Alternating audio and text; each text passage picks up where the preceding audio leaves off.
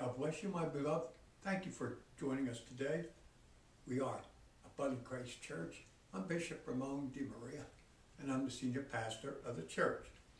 Before we get started, let me encourage you to please like us and subscribe to our channel that you may keep up with our worldwide ministry. God bless you and thank you. My beloved, this will be part four and the closing of our message series titled Death is Certain. Our main scripture is from Ecclesiastes chapter 9 and verse 6, which reads as follows And their love and their hatred and their envy is now perished, neither have they any more a portion forever in anything that is done under the sun. As I said previously, my beloved, no matter how much wisdom you have, wealth, property, gains, they will all die with you. You will leave everything behind, never to have again. This is the way life is. Every man is destined to die. Then the judgment. Now, if you are a Christian and before you die, the rapture takes place, you will be changed and you will go to be with the Lord forever. And you can read that in 1 Corinthians chapter 15, verses 51 to 52. And 1 Thessalonians chapter 4, verses 13 through 18. My beloved, only Jesus Christ can rescue us as Christians from physical death. But if the rapture or the catching away or the harpazo doesn't take place, we will go by way of the grave. In this modern time, because of the economy, a lot of people are choosing to be cremated. But no matter what, you will die and never return to this life that you lived here on earth. And when you leave here, your soul will either go to torment or paradise. And then, after the great white throne judgment, your soul will go to either heaven or the lake of fire. Let's hope that you choose Jesus Christ and go to heaven. So our main scripture for today is the one that I just read, Ecclesiastes chapter 9 and verse 6. But I will read it again. Their love and their hate and their envy have already perished, and forever they have no more share in all that is done under the sun. So my beloved, all the feelings which are exhibited and developed in the life of this world are annihilated. Three are selected as the most potent passions love, hate, and envy, such as by their strength and activity might ideally be supposed to survive even the stroke of death. But all are now at an end. All your feelings, everything, are left behind. Neither have they any more portion forever in anything that is done under the sun, which means in this life. Between the dead and the living, an impassable gulf exists. Now you can read that in the account of the rich man and Lazarus. The view of death here given intently, gloomy and hopeless as it appears to be, is in conformity with other passages of the Old Testament. And you can read that in Psalm chapter 6 and verse 5 and Psalm 30 verse 9. 2 Timothy chapter 1 and verse 10 says, Now Christ Jesus has come to show us the kindness of God Christ our Savior defeated death and brought us the good news, the gospel. It shines like a light and offers life that never ends. It offers salvation through Jesus Christ. It was Christ who brightened the dark valley of death, showing the blessedness of those who die in the Lord, bringing life and immortality to light through the gospel of love and peace. Not that the separate spirits of the dead are without their affections, or these unexercised, the spirits of just men made perfect will love God and Christ, the angels, and good men, and all that is good more intently. Love will continue after this life, my beloved, and be in its height, and therefore said to be the greatest grace. They will hate sin, Satan, and the enemies of Christ, and be filled with zeal for his glory. My beloved, when you die to self and live to Christ, you're not the same. You don't follow the flesh. You don't exhibit the things of the flesh, but you exhibit love and the things of Jesus Christ. The spirits of the wicked dead will still continue to love sin and hate the Lord Jesus Christ, hate God, hate everything that is good. They will envy happiness, the happiness of every Christian, and will rise again with the same spirit of malice against them in the judgment, they will still hate God. They won't want to stand before Him, but they must. When God summons them, they must come.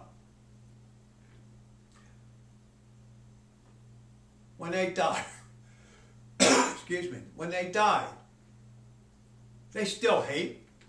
They hate in hell. They hate in the lake of fire. They didn't love anything good in this life. They just loved evil. And they demonstrated evil. Therefore, they will have that evil with them for all eternity. They will exist in the lake of fire with others that love evil. There will be nothing good in hell. Nothing whatsoever. It is all evil. It is all bad. It is envy, hatred. There is no love, none whatsoever. So if you don't love in this life, if you envy, you hate, you hate God, you hate everything that is good, you will hate it for all eternity in hell, where you will be burning and suffering for all eternity. It says, neither have they any more a portion forever in anything that is under the sun. When you die, you're dead. You can't enjoy the pleasures of this life. You can't enjoy food. You can't enjoy drink. You can't enjoy sunshine. You can't enjoy the stars at night. You can't enjoy your family. You can't enjoy your spouse. You can't enjoy your job, your friends. You can't enjoy sports. You can't enjoy anything because you will be in the lake of fire where there is no good, no enjoyment. Everything you ever owned is left behind for someone else to use, for someone else to squander. Everything you work for, everything you are burning in hell for, is left for somebody else. And if they don't change their life, they will follow you into the lake of fire. Your houses will be gone. You will not return to your home, to your land, to your country. All is gone for eternity. But my beloved, the good person, the Christian, the good man, the good woman, the good child, has a good portion in heaven which is above the sun, not under the sun. Sun is S-U-N. Because God is the portion of every born again believer in Jesus Christ. Every saint, every Christian, as you may say. Heaven is the inheritance of every born again believer in Jesus Christ forever and ever, which is for eternity. So, my beloved, in its finality, the wicked have no good part with the righteous in the world to come, and they have no profit of all that is done in this world under the sun. When you're dead, you're dead. Your body dies, decays, rots, turns back to dust from whence it came. My beloved, I want to give you the opportunity to get your life right here and now so you can go to heaven and be in bliss and happiness and joy and peace for eternity. Beloved, knowing that death is certain, what type of life are you going to live here in this world? Unrighteous living will lead a person to hell, but righteous living in Christ will lead to eternal happiness in heaven. The evil, selfish, and hateful person will soon be forgotten in this life, and everything that person leaves behind will go to someone else to squander. But the good person who chooses Christ will leave behind a legacy of good and will be long remembered. Which do you choose today, my beloved? Because you are surely going to die one day, and you will die at God's appointed time. If you are viewing or listening to this message, you still have time to change your life for the better. Don't lose out on this opportunity, my beloved. Please don't lose out. Repent and turn to Jesus Christ for salvation. If you'd like to receive Christ as your Savior and Lord today, please repent of your sins. Ask Jesus Christ to be your Savior and Lord. Once you do that today, it's not hard. You must believe in your heart and confess with your mouth that God raised Jesus Christ from the dead. You must believe this. You must believe that Jesus Christ is the Savior of all mankind, and only He can save you from the lake of fire. You must believe that He was born, crucified, died, buried, rose from the dead on the third day, ascended into heaven, is now sitting at the right hand of God the Father, in a place of power and majesty, from where he shall come to judge the dead and the living. Read or listen to the Apostles' Creed or the Nicene Creed. It says it all. So if you would like to go to heaven when you leave this life, after you die, which you surely will, please repent Pray this prayer with me and mean it from your heart. Heavenly Father, in Jesus' name, I heard the message today. Death is certain. And I know that if I died today, or I'm not sure if I died today, where I would spend eternity. But today, I want to make sure, I want to secure my place in heaven with Jesus Christ and everything and everyone that is good. I'm sorry for my sins. Forgive me of my sins, Father God, in Jesus' name. I believe that you sent your son, Jesus, into this world to die for my sins. That he was crucified, died, buried, rose from the dead on the third day, ascended into heaven, is now sitting at the right hand of God the Father, in a place of power and majesty from where he shall come to judge the dead and the living. I believe this today. I confess this today. I repent today. And I ask you to save me. And I believe by faith, by my prayer, my sincerity, my repentance, that you have forgiven me. Jesus Christ has become my Savior. I have become a Christian. And when I leave this life, I will go to heaven. In Jesus' name I pray and thank you for saving me today. Amen. My beloved, if you truly repented, you prayed that prayer, let me be the first to welcome you into the kingdom of God. Now what I would like you to do is go to a Bible preaching, teaching church.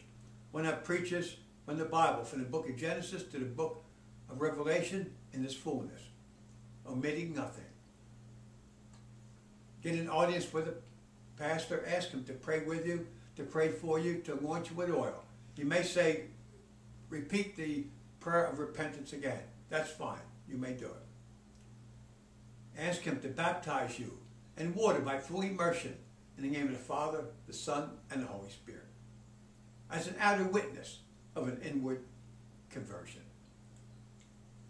Ask him to teach you, to lead you and guide you, to put you in a new Christian's class, a believer's class, that you may learn.